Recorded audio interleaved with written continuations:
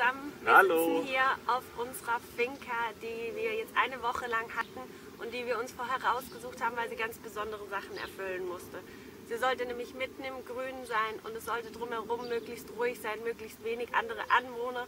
Und genau das haben wir hier auch gefunden. Es ist wirklich so ein kleines Paradies. Ganz, ganz viel Grün drumherum. Der Pool, der zum Baden einlädt, mit immer einem kleinen Schattenplätzchen. Eine Veranda, wo man sowohl den Sonnenauf- als auch den Sonnenuntergang sehen kann. Einfach wunderschön. Wir haben hier auch einen riesigen Garten außenrum. Das Gelände ist sehr, sehr weitläufig. Alle Gäste konnten ohne Probleme auch direkt bei uns das Fahrzeug abstellen.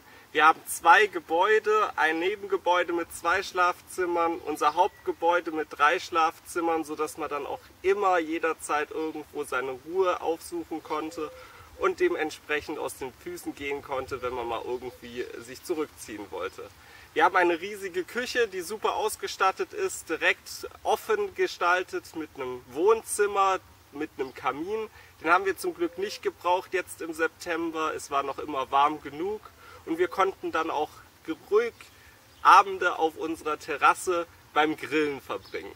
Der Webergrill hat uns besonders begeistert, aber grundsätzlich einfach die Lage der Finca, wie es alles eingerichtet und ausgestattet war, sowie wie die Natur drumherum war.